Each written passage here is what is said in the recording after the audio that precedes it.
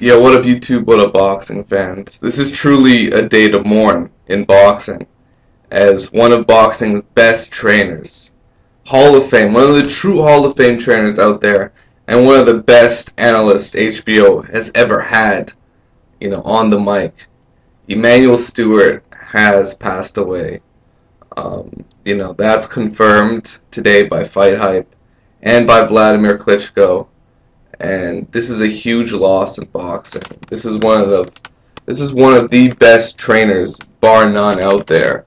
And he's had so many Hall of Fame fighters. He's trained so many tremendously gifted fighters like Lennox Lewis, Wladimir Klitschko, Tommy Hearns. You know, he trained De La Hoya, Miguel Cotto at times. Uh, you know, he's known for training, you know, big, long heavyweights and welterweights, and uh, he's had a historic uh, training career in boxing that will always be remembered. And you know, it's just such a loss in boxing. And you know, HBO is not going to be the same without Emanuel Steward commentating. It's just not the same, you know. That's definitely a voice I think many of us will miss on the HBO airwaves. It's just shocking to know that we're not going to hear him commentate again. And, you know, he was reportedly in the hospital recovering after surgery to treat, uh, you know, whatever difficulties he had. Uh, the word is he was suffering from cancer.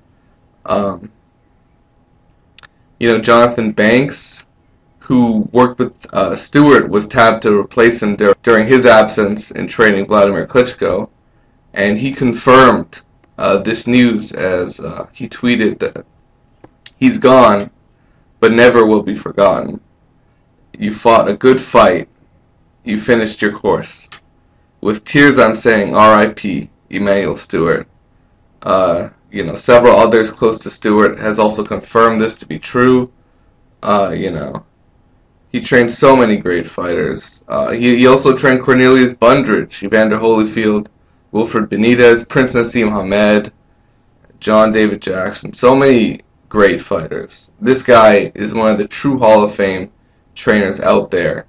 And he's not nowhere near one of the media hype trainers that, you know, gets credit that he doesn't deserve because Emanuel Steward deserves all the credit that's given to him. He is literally, in my opinion, the best trainer in boxing.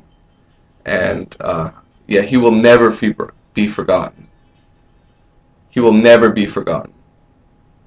Best regards, and you know, salutation to Emanuel Steward. He's one of the best. Rest in peace. Peace out. Take care. Later, guys.